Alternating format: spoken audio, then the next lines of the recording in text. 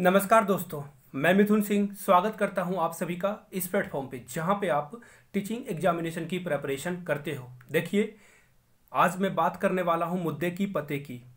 तो आप लोग को सजग रहने की ज़रूरत है मोदी गवर्नमेंट।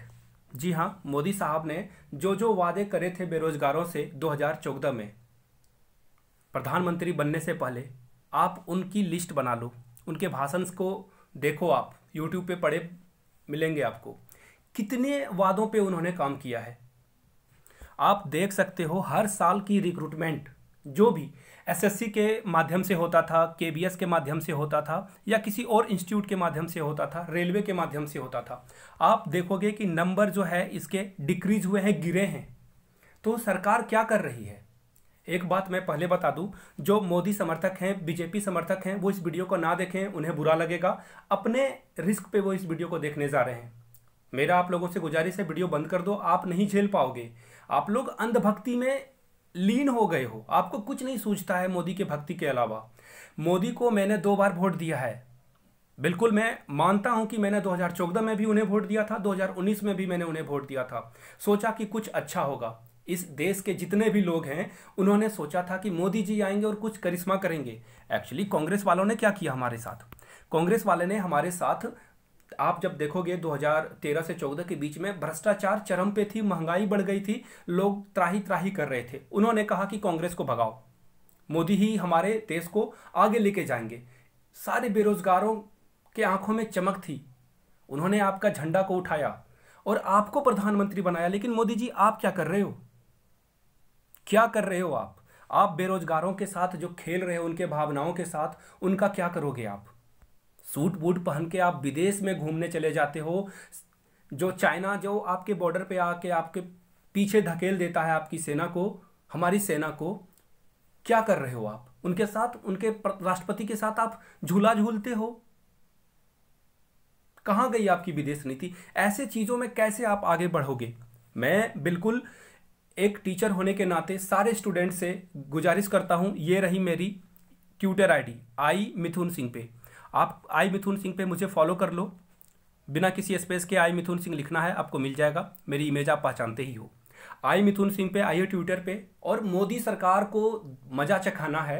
ये सरकार बहरी हो चुकी है और भगत सिंह ने एक बात कही थी कि सरकारें जो होती है, वो बहरी होती है और उन्हें धमाके की ज़रूरत होती है सुनाने के लिए। तो हम लोग तो भाई आतंकवादी हैं नहीं। बम पटाखे हमारे पास तो है नहीं। हमारे पास एक औज़ार है ट्विटर का। बिल्कुल, सरकार ने इसकी भी जो जो आवाज़ निकालते हैं ना ट्विटर पे लोग, जो अपनी भावनाओं को रखते हैं ट्विटर को भी इन्होंने सिकंजा कसने की कोशिश करी, लेकिन ये तो नाकाम हो गया। तो चलिए ट्विटर पे आना है आपको और हैशटैग चलाना है मोदी रोज़गार दो हैशटैग मोदी रोज़गार दो। बिल्कुल, और आपको एक और बात, आप लोग देखो के B D triple S B ये सब जो भी टीचर रिक्रूटमेंट आती है, इसके प्रिपरेशन में लगे हो। तो चलिए, आप लोग को मैं एक नया हैशटैग देता हूँ। हैशटैग कंडक्ट के आपको लिखना है। ठीक है ना? कंडक्ट सारे कैपिटल में लिखोगे या स्मॉल में? चलो स्मॉल में ही। सी को कैपिटल में लिखना और सारे स्मॉल में और के इसी के साथ रहेगा। बिना किसी स्पेस के के फुल फॉर्म में रखना है आपको। तो ट्यूट करो आप और मुझे ज़रूर टैग कर लो उसमें। फॉलो नहीं करना चाहते हो, कोई बात नहीं। आई मिथुन सिंह को हमेशा हर ट्वीट में आप टैग करो। आपके सारे ट्वीट को मैं लाइक करूँगा और रीट्वीट करूँगा। इस सरकार को जो है ना, इनकी हैसियत दिखानी है। ये अंग्रेज़ों की तरह बर्ताव कर रहे हैं। हमें गिनते ही नहीं है ये। हम बेरोजगार को ये गिनते ही नहीं है। इन्हें लगता ही नहीं कि देश में बेरोजगार है कोई। सारे, इन्हें लगता है कि सारे लोग खुश, राम राज्य चल रहा है यहाँ पे।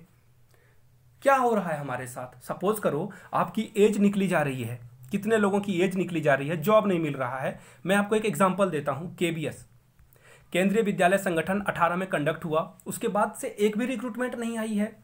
कोरोना का बहाना, कितना बहाना बनाओगे मोदी जी, कुछ तो शर्म करो। आँख में अगर पानी हो, आपकी, मुझे वो एक पहली स्पीच याद है, जब आप पार्लियामेंट में पहुँच के रोए आप। वो पानी कहाँ गया? वो पानी को आपको फिर से जीत लाना है। और देखो बहुत गरीब लोग हैं जिन्होंने लाखों रुपए खर्च करके बी एड डी करा है। उनके लिए कुछ करो आप। ऐसे नहीं चलेगा। और भी जो बेरोजगार हैं, उनके लिए कुछ तो करना ही पड़ेगा आपको। ऐसे करोगे तो कैसे चलेगी? तानाशाही तो आप हिटलर बन जाओगे फिर। हम लोगों की बात को अगर नहीं सुना तो इतनी तो बात तय है कि आपकी सत्ता तो जाएगी ही जाएगी। आपका नाम जिस तरह से लोगों ने 2014 में जयकारे के साथ 19 में लाया, वही मिट्टी में मिला देंगे ये लोग। जनता से बढ़कर लोकतंत्र में कोई नहीं होता है, याद रख लेना। तो चलिए वीडियो को यहीं पे ख़त्म करता हूँ मैं। शेयर करना है इस वीडियो को। आप चैनल को सब्सक्राइब करो, लाइक करो, कोई फ़र्क नहीं पड़ता है, शेयर करो। लोगों तक ये इस आवाज़ को पहुंचाओ। आपके ऊपर ये ज़िम्मेदारी है कि अच्छे चीज़ों को आप प्रमोट करो। कॉमेडी वीडियो, ये सॉन्ग की वीडियो आप प्रमोट करते हो सारे चीज़ों को तो इस वीडियो को प्रमोट करो ना। ये आपके नौकरी से लेना देना है इसका। जब लॉकडाउन लग गया था तो देखो क्या हुआ था। सोच करके देखो सारी चीज़ों को। मोदी जी ने कह दिया कि चलो घर से बाहर नहीं निकलना है किसी को।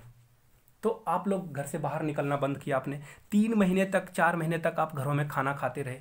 ये खाना किसने दिया? सरकार ने दिया क्या? तो जॉब आपकी लगी रहेगी तो कुछ भी हो जाए, कोरोना आ जाए, आप एक साल के लिए भी घर में बैठ के खा सकते हो। तो सरकारी नौकरी बहुत ज़रूरी है। तो सरकारी नौकरी कौन देगा? सरकार देगी ना? तो वीडियो को शेयर करो और तमाचा लगाओ इस सरकार के गाल पे। ऐसे नहीं समझेंगे ये लोग। ट्वीट करना है पच्चीस फरवरी को, जो डेट रखी गई है।